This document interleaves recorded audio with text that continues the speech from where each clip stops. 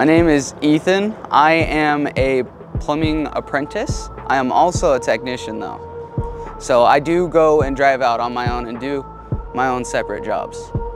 So how, first and foremost, how old are you? I'm 20. Okay, and what made you want to get started in the plumbing trade? I actually started off doing handyman work. So I started doing drywall, tile, all that other stuff.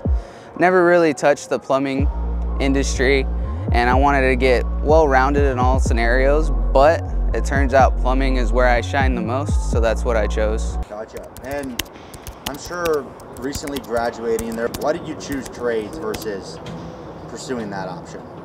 Um, in my opinion, school wasn't for me. For me, it was a waste of time.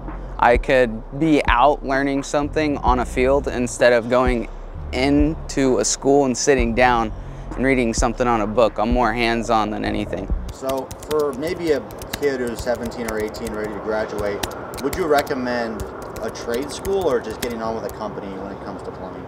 Oh man, I would definitely recommend going on with a company. You'll learn a lot.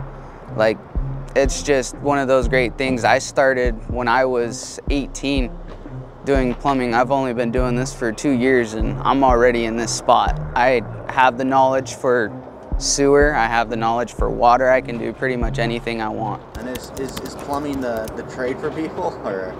Um, it depends. So we have our, uh, our sewer people, which I'm one of them, but then we have our water treatment. I'm one of them as well. I'm just well-rounded uh, around those two, but it really depends if you want to be playing with crap water or you want to be playing with clean water. So that's where it's at.